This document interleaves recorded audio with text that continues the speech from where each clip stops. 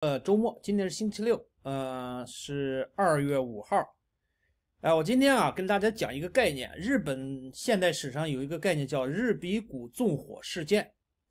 呃，这个事儿呢，和咱们中国的五四运动啊，哎，高度雷同啊。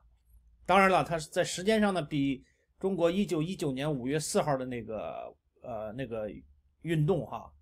要早。它的素质呢，应该比五四运动的参与者呢，呃，差一些。啊，一九一九年五月四号，中国北京的大学生啊，注意啊，那个时候的大学生可是很少啊，上街游行，主要是抗议，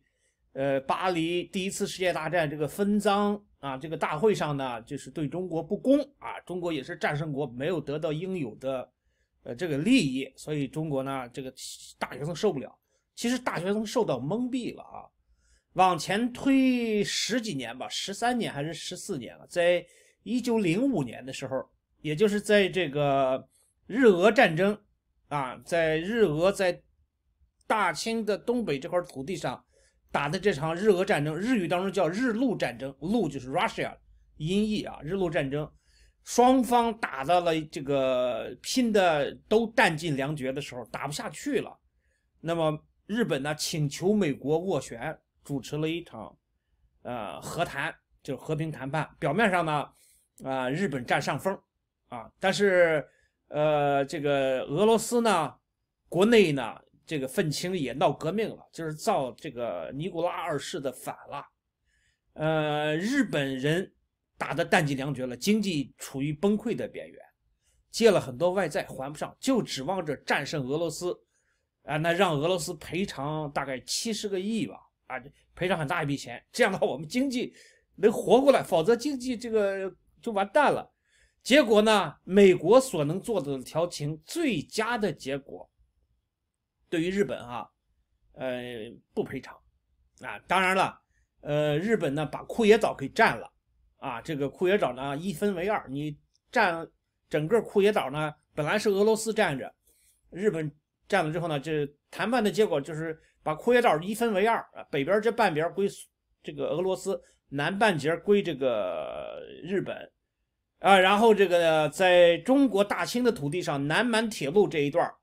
啊，大概从长春到大连这一段吧，啊，这一段铁路呢，本来是俄罗斯人管，赚的钱归他们。那么现在呢，呃，这个这个这俄罗斯让出来，决定啊，呃，这日本人不满意呀，日本年轻人。那些愤青啊，就是普通市民吧，嗯，爱国者吧，呃，军国主义分子上街抗议。到日本东京有一个公园，当时叫日比谷公园，在那儿集会，呃，跟五四运动北京大学生喊的口号差不多啊，呃，就是你内城国贼啊，就是要打日本人了啊，真打死了很多人，最后导致日本政府呢也是铁腕镇压了。胡闹嘛，因为日本政府啊也是隐瞒真情，跟习近平现在隐瞒疫情差不多。老百姓根本不知道这个战争啊实际情况，老百姓知道的就是啊这个打赢了这个消灭了这个这个俄罗斯的这个太平洋第二舰队，呃，在这个日本海啊，就是在日本和朝鲜夹着这块水域上。打了一个非常漂亮的，嗯，这个海上的一个歼灭战，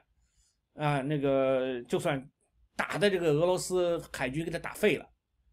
啊，那个但是在陆地上啊，真正说在东北黑龙江流域哈，在这个黑龙江甚至江北一些地方打了几仗啊，日本是很惨的，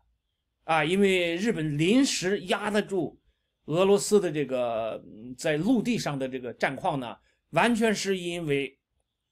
俄罗斯的年轻人在国内造反了，所以他的军队啊都调到那个西西边，调到这个圣彼得堡、莫斯科那边去镇压他们本国人民的造反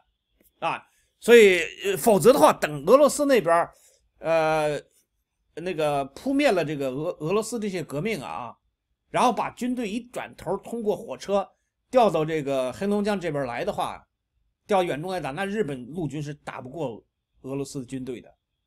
哎，所以这个这个呢，日本的高层当然清楚了，日本的人民已经疯狂了，啊，所以这个很有意思啊。我最近看到一个片儿啊，叫这个叫这个云上东州和南满铁路等权益转让给日本，叫板上承认朝鲜半岛大家是日本看一段啊，的势力范围。这里面就讲到这个一九零五年九月五日，日俄战争结束之后在美国普斯茅斯签下合约，谈判的这日俄战争。就此落幕。对于日俄和谈结果，日本国民无法接受。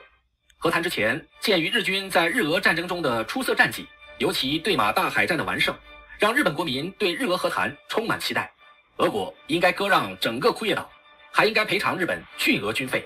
结果一分钱的赔偿都没有，库页岛还打了五折。巨大落差之下，日本国民愤怒了。在普斯茅斯合约签订当天，三万日本国民聚集在东京日比谷公园抗议。三万日本国民上街到这个日比谷公园，你搜搜地图看看，日比谷公园还在，很小的一个公园啊，三万多人，你想那是什么阵势啊？五四运动当年，呃，上街的没也没有那么多人啊，啊，没有没有上万吧，估计几几千人。日本政府丧权辱国，要求继续进行战争。他们高喊：“撕毁卖国条约，斩国贼小村首级，以谢天下；烧掉卖国大臣的家。”日本国民的愤怒，十几年后的中国人感同身受。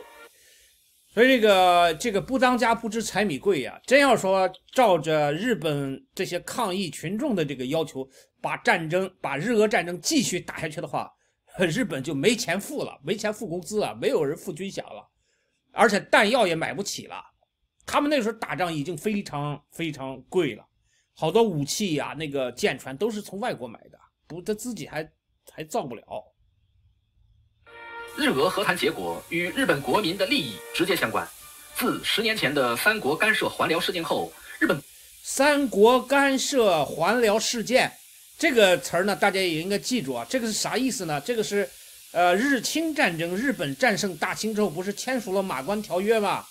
签署之后啊，就是把这个这个这个辽东半岛啊，完全割让给日本，割让啊，跟台湾一样啊，台湾割割让送给日本，永久永久给辽东半岛割让啊。那么那么那么就那么就说，呃，还有其他的一些权益啊，呃，这个其他国家看不过去了，法国呀、德国呀，他他们就觉得不行啊，说你这个。你你这个你占便宜太大了，那那我们要跟你说道说道，就逼着日本啊，又把这个辽东半岛给吐回来了，啊，当然这个是俄罗斯主导的，那俄罗斯又找了个机会，就把这个后来就把这个辽东半岛给给占了啊，这个机会是什么呢？就是义和团到北京招惹来八国联军啊，来平暴，来镇压义和团这些傻逼群众。义和团红卫兵锅腰粉啊，就是中国反动邪恶黑暗，呃，这些愚昧的大众啊，就给国家惹了祸。俄罗斯也派了军队到北京来参与八国联军镇压暴民运动，人家顺便就把东北给占了啊，把辽东半岛都给占了。那这个是一九零零年的事儿。后来日本呢就说这他妈我们还得夺回来呀，就跟清廷商量，我能不能帮你打仗。把这个俄罗斯人赶走啊，把他打败，然后我把东北给你抢回来，我再还给你，行不行啊？大清说好，好，那我惹不起俄罗斯，我表面上保持中立，我暗地里帮你，这就是日俄战争的来历。国民就肩负重水，到了日俄战争期间负担更重。如果日本获得巨额赔偿，那么势必会大大减轻日本国民的税负，否则日本国民还要继续为日俄战争落下的饥荒填坑。日俄战争期间，日本举债近十二亿日元，庞大债务和巨额利息会让这个资源匮乏、工业基础薄弱的新兴国家变成蜗牛。群体情绪简单又夸张，冲动又易变。日比谷公园爱国集会很快变成了日比谷烧打事件，日本政府最后不得不出动军队才勉强平息，但桂太郎内阁不久后倒台。日比谷烧打事件表达了日本国民的愤怒。请注意啊，当时日本的这个已经明治维新改革取得了成果，战胜了大大清，从战从大清那儿每年得到这个赔偿。然后日本这个钱没有浪费掉，没有吃喝玩乐啊，建了大学，建了军队，买了最先进的武器，啊，走军国主义的道路，啊，这个是全国人民感到非常振奋，全国人民处于一种两千多年前中原人啊那个秦国的那个状态，就是军国主义，啊，所以他是觉得我们这个道路是正的，非常好，就是要搞下去。谁敢得罪我们，我们就跟你打，我们白种人照打。这个这个心情啊，啊，这非常好啊，非常好。是日本民权的一次合唱，亦可谓大正民主的序章。日俄战争爆发前，日本国民的情绪就像战争倾斜，开战论者比比皆。板上之云这个日本的这个电视连续剧啊，呃，值得一看，嗯，很长啊啊，这个有十十三集吧，每一集都是九十分钟，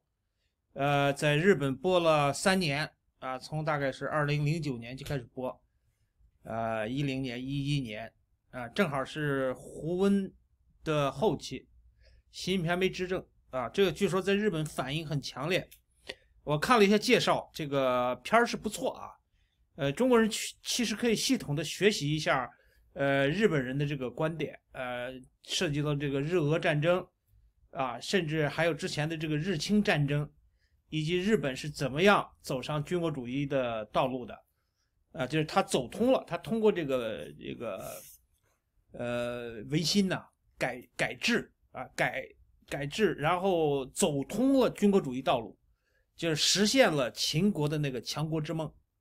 这仍然是今天中国这些小粉红啊、五毛啊，呃，中国共产党所谓大国崛起啊、民族复兴啊，全是这个意思，就是说我要打人啊。他不是说把这个改制之后哈，呃，极大的啊，让人民群众，呃，这个让人民群众呢去花时间去琢磨着，呃，去呃发明创造。去创造财富啊！你比如说有一些工艺啊，我们改进啊，有可能我们新搞一种建筑材料，我们把建筑成本降到呃十分之一的成本，我们跟全世界所有国家给你承诺，给你盖房子，盖出来的房子又结实又便宜啊，而且而且安全啊，而且省能省能等等吧啊，就是在这个日本的这个明治维新的这个这个道路走上了军国道路呢。走上军国主义道路，仍然是诱惑今天中国高级领导人的这么一个幻觉。嗯，所以从这个日俄战争，呃，这个结果来看呢，俄罗斯差一点儿当场就死啊。后来第一次世界大战，终于把他，呃，十月革命把他干掉了，死了。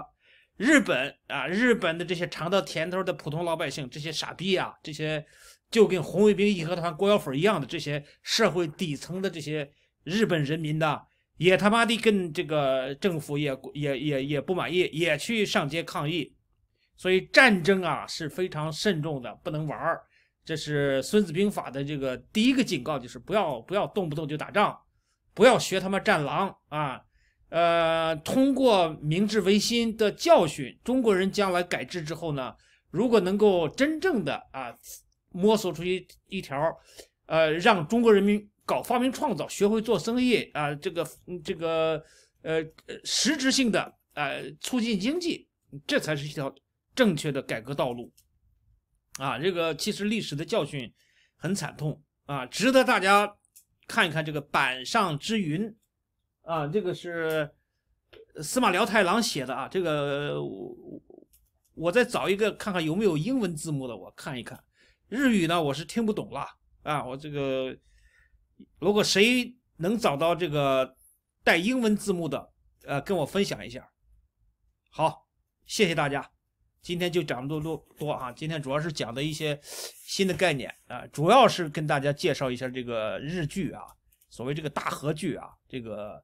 板上之云。这个板呢，在这儿就是板是个日本字儿，实际上就是个上坡的意思。坡上的青云志，云就是咱们中文里的那个呃。青云之志啊，是一种理想啊，是一种野心啊。单纯在汉字里讲这个“云”字儿，很难让人联想到它是一种野心啊。就是明治维新在日本的国民当中点燃了他们的秦国强国梦啊，就是有战争、有发动战争的能力。我可以称霸了，我可以抢夺你的财产，可以统一六国，我可以灭了你，我可以搞大秦朝，就这种野心。就是军国主义的道路啊，就是现在术语叫军国主义。